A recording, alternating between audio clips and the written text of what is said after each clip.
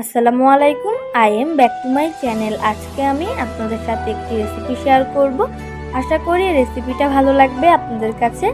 আজকে আমি তৈরি করে দেখাবো গরু মাংসের বিরিয়ানি খুবই সহজে আর কম সময়ের মধ্যে এই বিরিয়ানি তৈরি করা যায়।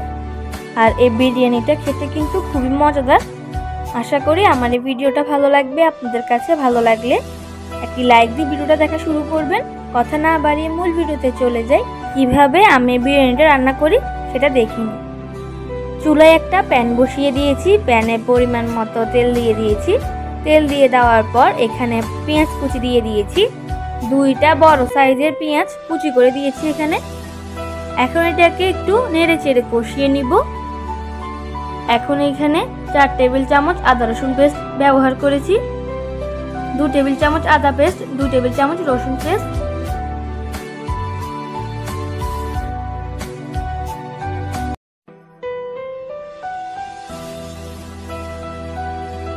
এখন এটাকে ভালোভাবে নেড়ে চেড়ে কষিয়ে নিব।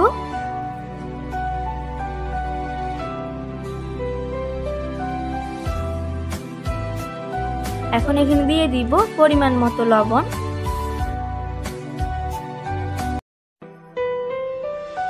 লবণ দিয়ে ভালোভাবে নেড়ে চেড়ে কষিয়ে নিব।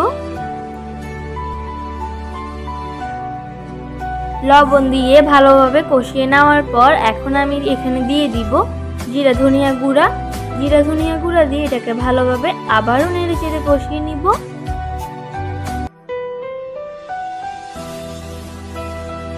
এখন এখানে আমি দিয়ে দিব বিরিয়ানি মশলা। এখানে আমি রাঁধুনির বিরিয়ানি মশলাটা ব্যবহার করছি। আপনারা যে কোনো ব্র্যান্ডের ব্যবহার করতে পারেন। ফুল প্যাকেটটা এখানে দিব না, হাফ দিব আর হাফ রেখে দিব। এখন আমি এখানে বিরিয়ানি মশলা দিয়ে দিব, হাফ প্যাকেট। বিরিয়ানি মশলা দিয়ে ভালোভাবে নেড়ে চেড়ে কষিয়ে নিব।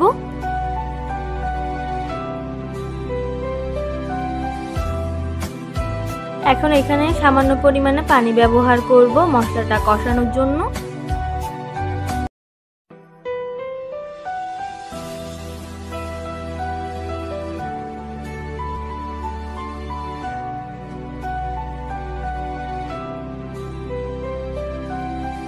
এখন আমি এখানে দিয়ে দিব লাল মরিচের গুঁড়া, দু চামচ পরিমাণ।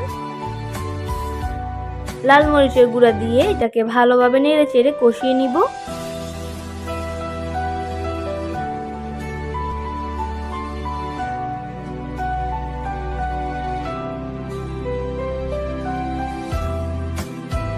মশলাটা কষানো হয়ে গিয়েছে। মশলার উপরে তেল ভেসে উঠেছে। এখন আমি এখানের মধ্যে গরু মাংসগুলো দিয়ে দিব। এখানে এক কেজি পরিমাণ গরু মাংস আছে। গরু মাংসগুলোকে ভালোভাবে কেটে ধুয়ে পরিষ্কার করে নিয়েছি।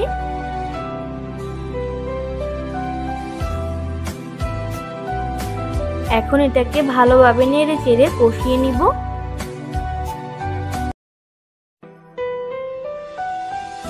এখন আমি একটা ঢাকনির সাহায্যে ঢেকে দিব। যাতে মাংসটা সিদ্ধ হয়ে যায়। কিছুক্ষণ পর ঢাকনিটা তুলে এখন আমি এখানে ফ্যাটানো টক দই দিয়ে দিব।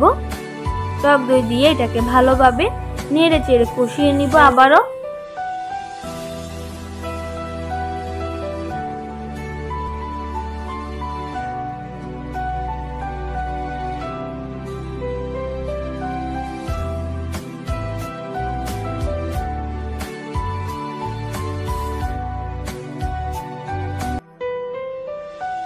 মাংসটা কষানো হয়ে গিয়েছে। এখন আমি এটাকে এক সাইড করে রেখে দিব। বিরিয়ানি তৈরি করার জন্য চুলায় একটা প্যান বসিয়ে দিয়েছি। প্যানে এখন পরিমাণ মতো তেল দিয়ে দিব। এখন আমি এখানে দিয়ে দিব পেঁয়াজ কুচি পরিমাণ মতো। পেঁয়াজ কুচি দিয়ে এটাকে ভালোভাবে নেড়ে চেড়ে দিব। এখন আমি এখানে দিয়ে দিব লবণ পরিমাণ মতো। লবণ দিয়ে দেওয়ার পর পেঁয়াজ কুচিটাকে কষিয়ে নেওয়ার পর এখানে আমি চাল দিয়ে দিয়েছি। চাল দিয়ে চালটাকে কিছুক্ষণ নেড়ে চেড়ে ভেজে নিয়েছি। এখন আমি এখানে দিয়ে দিব গাজর কুচি। গাজর কুচি দিয়ে আবারও ভালোভাবে ভেজে নিব চালটাকে।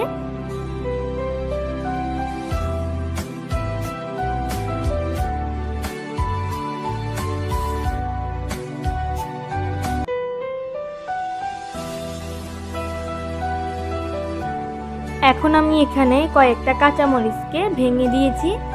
এখন আবারও ভালোভাবে নেড়ে চেড়ে ভেজে নিব চালটাকে।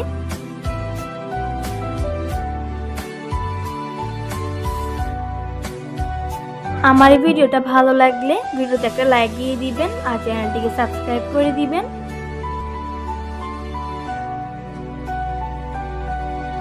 এখানে কিন্তু বিরিয়ানি তৈরি করার জন্য আমি চার কাপ চাল নিয়েছি, তাই এখানে আমি আট কাপ পানি ব্যবহার করব, এক কাপ চালের জন্য দুই কাপ পানি। এটা কিন্তু সবাই জানে, তবুও একটু বলে দিলাম আপনাদের সুবিধার্থে। এখানে আমি গরম পানি ব্যবহার করছি। গরম পানি দিয়ে বিরিয়ানি তৈরি করলে বিরিয়ানিটা একটু ঝরঝরে হয়। পানি দিয়ে দেওয়ার পর এটাকে একটু ভালোভাবে নেড়ে চেড়ে দিব। এখন এটাকে একটা ঢাকনির সাহায্যে ঢেকে দিব। কিছুক্ষণ পর আমি আবারও ঢাকনিটা তুলে নিব।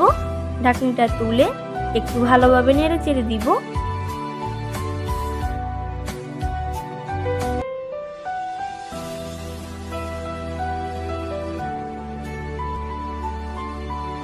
এখন আমি এখানে দিয়ে দিব কষিয়ে রাখা গরু মাংস, যেগুলো আগে থেকেই কষিয়ে রেখেছিলাম।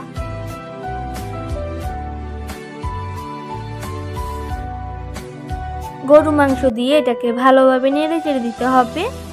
চালের সাথে গরু মাংসটাকে ভালোভাবে মিক্স করে নিব। বিরিয়ানিটাকে নেড়ে চেড়ে নেওয়ার পর এখন আমি এখানে দিয়ে দিব বিরিয়ানি মশলা। যে হাফ বিরিয়ানির মশলাটা রেখে দিয়েছিলাম, সেই মশলাটা এখন এখানে দিয়ে দিব। দিয়ে আবারও ভালোভাবে নেড়ে চেড়ে দিব যাতে বিরিয়ানি মশলাগুলো ভালোভাবে মিশে যায়। আর এটাকে কিন্তু আলতো হাতে নাড়তে হবে, না হলে কিন্তু চাল ভেঙে যাবে। এখন এটাকে একটা ঢাকনির সাহায্যে ঢেকে দিব। কিছুক্ষণ পর ঢাকনিটা তুলে এখন আমি এখানে দিয়ে দিব আলু বোখরা। এখন আমি এখানে দিয়ে দিব কিশমিশ। সব কিছু দিয়ে দেওয়ার পর এটাকে আবারও ঢাকনির সাহায্যে ঢেকে দিব। ঢেকে দেওয়ার পর আমি আবারও কিছুক্ষণ পর ফিরে আসছি। এখন এটাকে একটু ভালোভাবে নেড়ে চেড়ে দিব।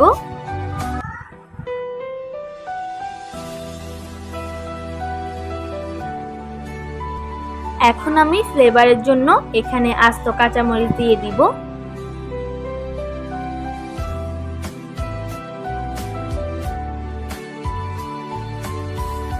আস্ত কাঁচামরিচ দিয়ে এটাকে একটা ঢাকনির সাহায্যে ঢেকে দিব।